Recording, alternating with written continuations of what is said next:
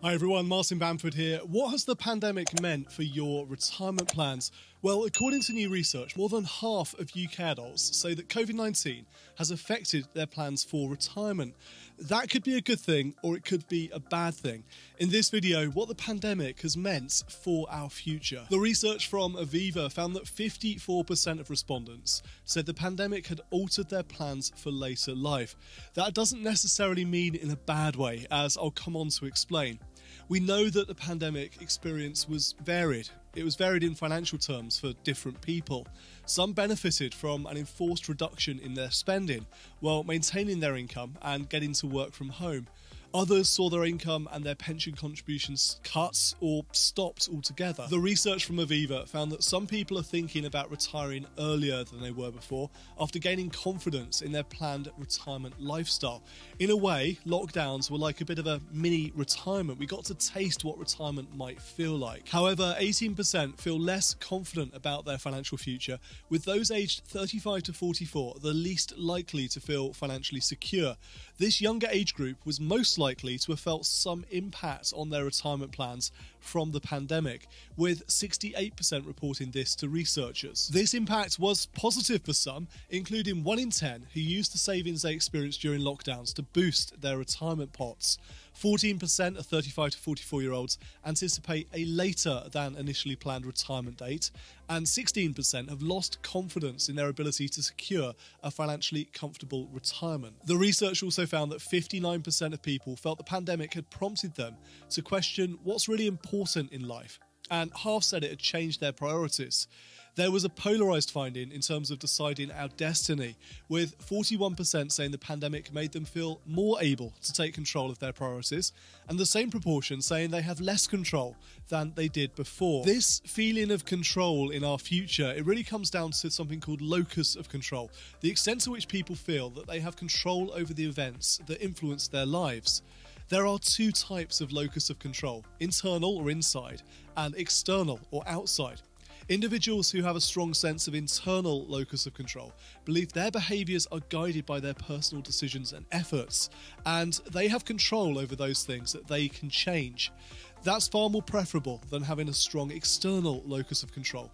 In fact, you're likely to be happier and more successful in life if you have an internal locus of control. Looking specifically at finances, the research found that 41% of UK adults say that life during COVID 19 has encouraged them to build more long term savings. Those in that 35 to 44 year old age group are most likely to feel compelled to save more for the future, with 54% reporting this feeling.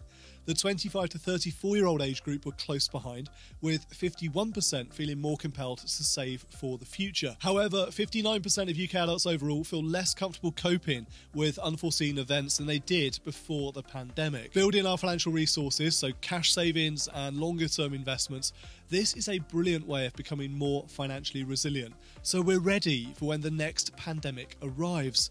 We don't seem to be talking very much, at least not yet, about the arrival of the next global pandemic. I found an interesting blog post from the Centre for Global Development. It was published back in August, and it said pandemic risk is largely underestimated, and actions to prepare for outbreaks are grossly underinvested. It explained why it's wrong for us to think of COVID 19 as a once in a lifetime or even a once in a century occurrence. Instead, they say frequency and severity of spillover infectious disease directly from wildlife hosts to humans is steadily increasing. For that reason alone, I believe now, as we come out of the COVID 19 pandemic, it is the right time to be planning for the next one. In planning for that next global pandemic, you don't want to simply survive it, but you want to plan to be comfortable and secure, financially secure, and secure in your health as well, with plenty of options available to you and to your family. Some of the things this pandemic prompted us to consider include where and how we work, and where and how we live. We know that property preferences have shifted a great deal as a result of the pandemic experience, with people moving out of towns and cities choosing larger properties in rural locations. We know that working from home and flexible working has become far more widespread and also, also far more socially accepted as people ditch the daily commute in favour of more time with their families and more time spent in their local communities. I've said this before, but don't allow the positives from a pandemic, that includes moments of realization and any improved habits, don't allow those to fall by the wayside side as life returns to normal. Don't give up the good bits. Commenting on this research we've looked at today, Alistair McQueen, who's head of savings and retirement at Aviva, said, For many of us, the pandemic has had a profound impact on our outlook and caused us to look again at our priorities.